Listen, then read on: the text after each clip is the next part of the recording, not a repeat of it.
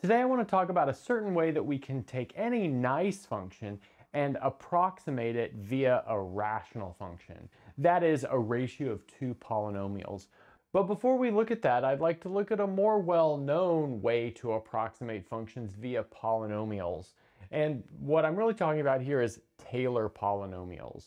So we'll recall that the nth Taylor polynomial of a function f of x is given by the following polynomial, which I'll call t sub n of x.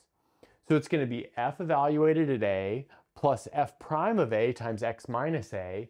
Next up would be a half f double prime of a times x minus a squared, all the way up to 1 over n factorial, the nth derivative of f evaluated at a, and then we have x minus a to the n. That's why it's called the nth Taylor polynomial because we've got a degree n polynomial here.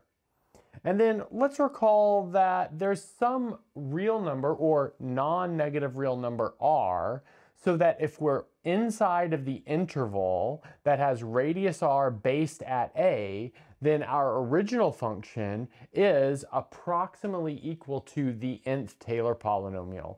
And that approximation gets better and better and better as n gets very, very large.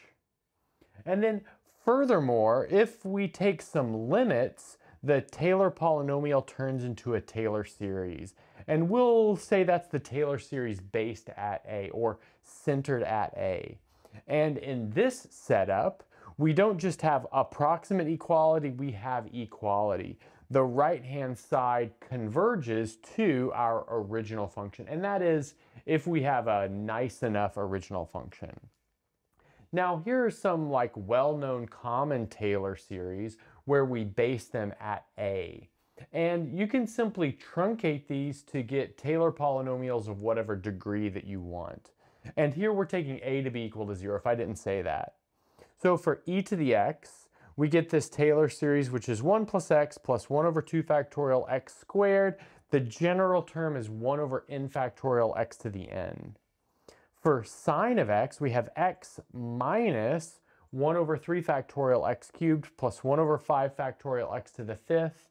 The general term is minus 1 to the n over 2n plus 1 factorial times x to the 2n plus 1. And the intervals for these first two are simply all real numbers, so we get convergence everywhere. Then 1 over 1 minus x, well that's just a standard geometric series. So we've got 1 plus x plus x squared. The general term is x to the n. The unit interval, the open unit interval that is, is our interval of convergence. Next up, for the inverse tangent, we have x minus a half x squared plus a third x cubed. The general term is minus 1 to the n plus 1 over n x to the n. And here we get the unit interval that's open on the left and closed on the right. Okay, so now that we've recalled this polynomial method of approximation, let's jump into our rational function method of approximation. So this type of approximation is called a Pade approximation.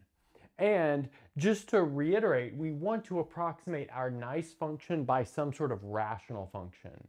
That is, on some interval, we should have f of x is approximately equal to, on the numerator, we have a sub n x to the m added all the way down a1x plus a0.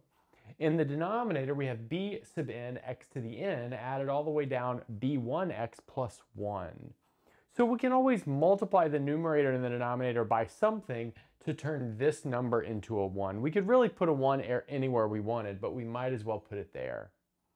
And this is called the m comma n Pade approximant.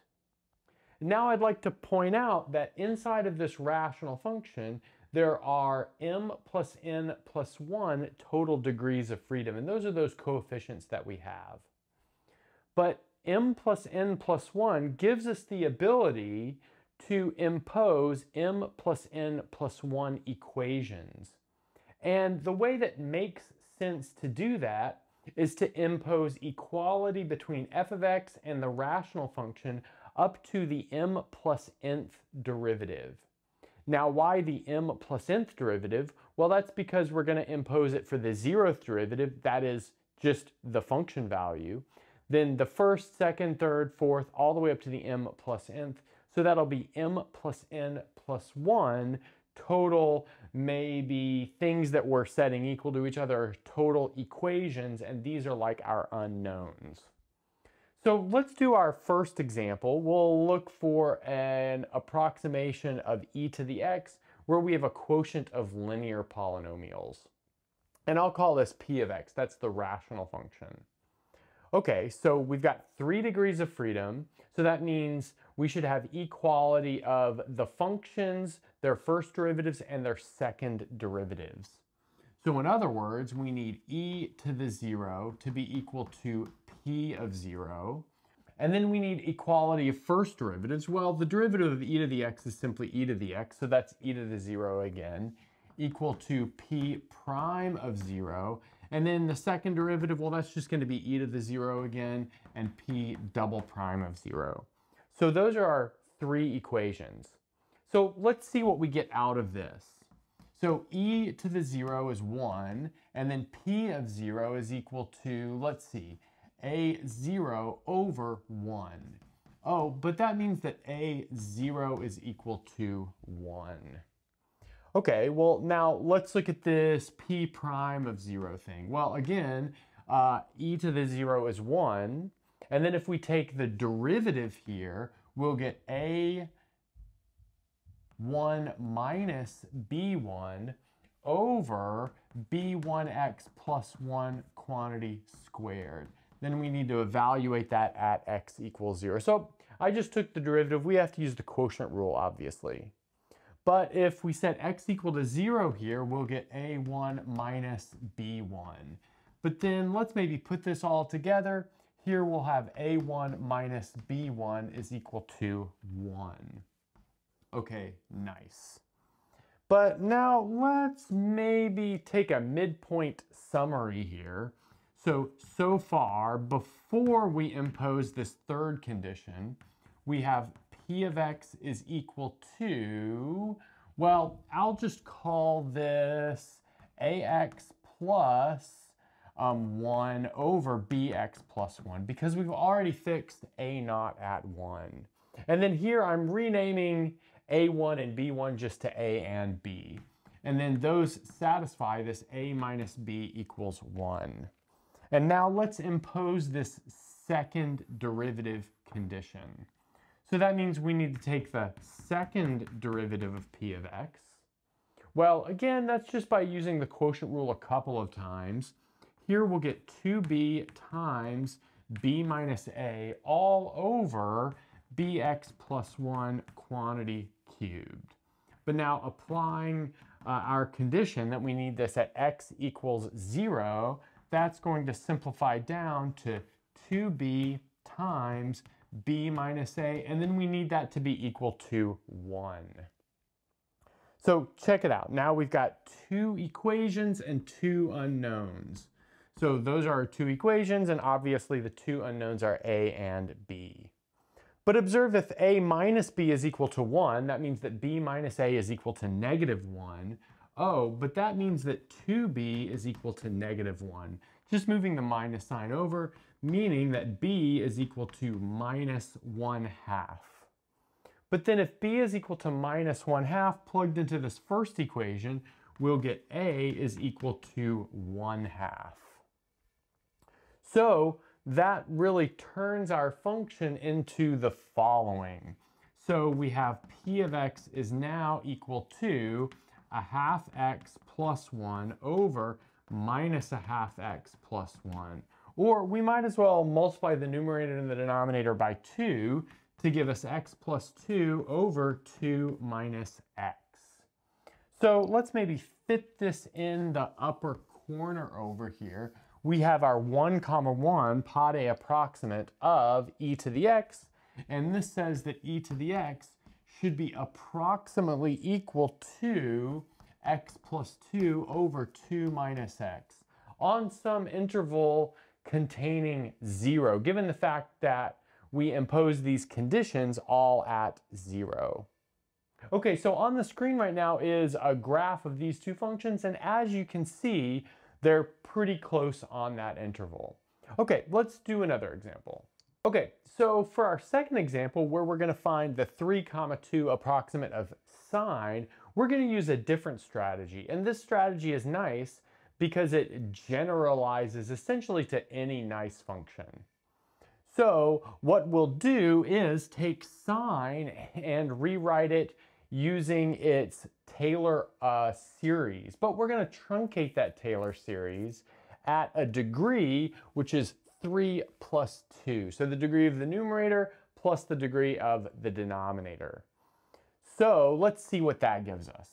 So what we should have here is x minus 1 over 3 factorial x cubed, and then plus 1 over 5 factorial times x to the fifth should be approximately equal to our rational function, which I'll just recopy now. And now what we'll do is simply cross multiply so we've got an equation of polynomials instead of an equation of a rational function on one side. So in other words, I'm going to take the denominator up here and multiply it up to the numerator on the left-hand side. And that's going to give us the following object. So we'll have b2 over 120 times x to the 7. That's from the leading terms on both. And then, well, let's get the rest of it copied over. Okay, so there we have it. We have it all written out. But what you'll notice is that there's no possible way to determine B2 and B1 using this setup. Or in fact, maybe there's a way to do it, but it will contradict, um, but we'll have contradictory equations. Like notice the fact that we have no degree 7 thing on the right hand side means that B2 has to be equal to 0. But then this B2 minus 1 sixth in the x cubed part and then a non a possibly non-zero x cubed part here tells us that maybe b2 is not zero. So the way to do this is just to think that, hey, we're approximating this very, very close to zero.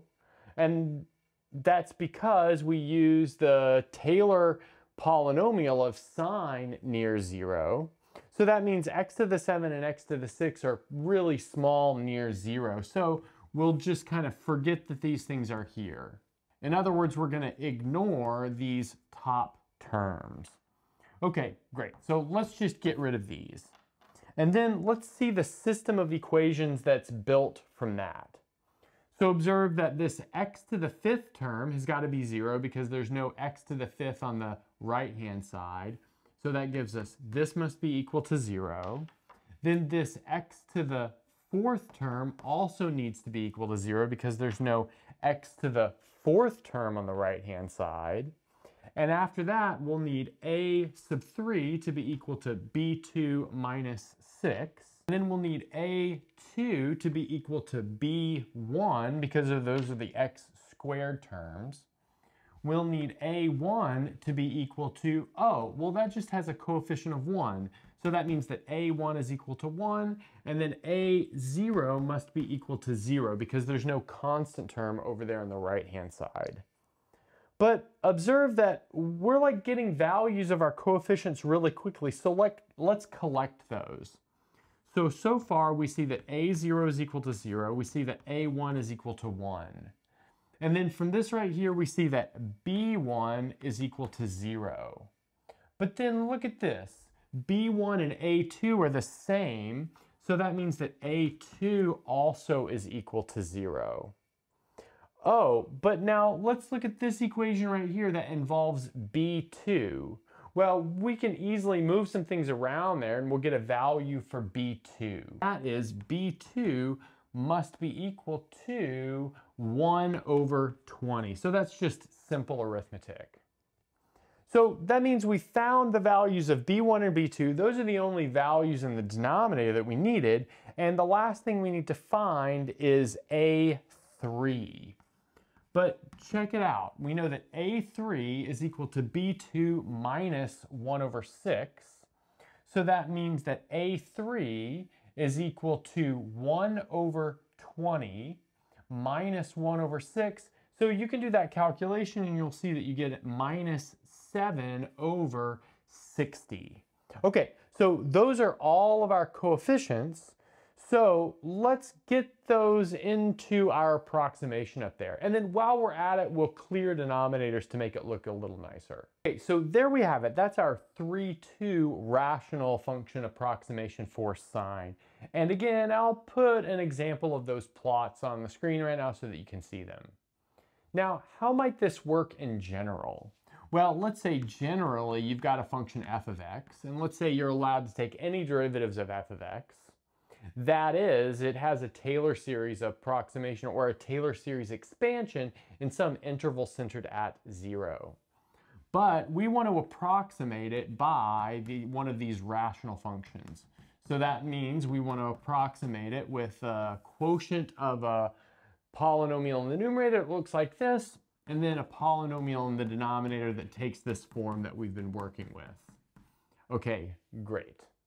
And then, well, since we've got a Taylor series approximation, what we want is for this to be equal to, but it's not really equal to, it's approximately equal to f of 0 plus f prime of 0 times x plus so on and so forth.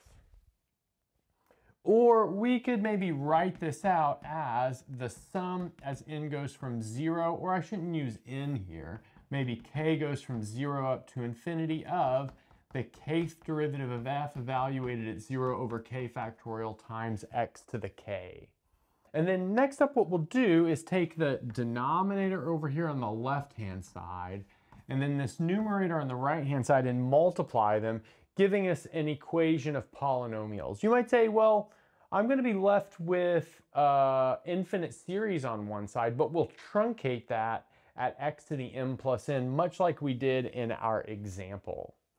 So after multiplying those two things that have magenta parentheses, we'll have the following. And this is using the so-called Cauchy product formula for um, multiplying series. We'll have the sum as r goes from 0 to m plus n. And inside of that, we'll have the sum as s goes from 0 to r we'll have the s derivative of f evaluated at 0 over s factorial and then b sub r minus x times x to the r. And here, if you ever encounter a b sub 0, we'll take that to be equal to 1. And then let's say if we didn't truncate it, what we would have as a upper bound here of our sum would simply be infinity. And then over here, we'll have a sub m, x to the m, added all the way down to a sub 0. So now let's observe that we have more terms over here on the left than we have on the right. That means that when we build our system of equations, the top bunch of system of systems of equations are equal to zero. And in fact, what we have is for r, between m plus 1, so r between m plus 1 and m plus n, we'll have this sum as s goes from 0 up to r of s derivative of f evaluated at 0 times s factorial times b r minus s equals 0. And then for r between 0 and m, we'll have this resulting sum equal to a sub r, that rth coefficient on the right-hand side. So that gives us, well, a system of m plus n plus 1 equations and m plus n plus 1 unknowns. And then you can solve that using the methods of linear algebra and you'll get your appropriate rational function approximation for whatever given function you started with. And that's a good place to stop. Thanks for watching and sticking around until the end of the video. And since you're here, don't forget to gently press that like button, subscribe, ring the bell, and select all notifications to never miss a video. If you want to get your name in the credits like you see here, access the live seminar series, review videos before release, and more, go to patreon.com slash michaelpennmath and become a Patreon member today. If you want full ad-free course content, subscribe to my second channel, Math Major. I've got courses on linear algebra, complex analysis, and proofwriting, among several others. And that's everything. Bye.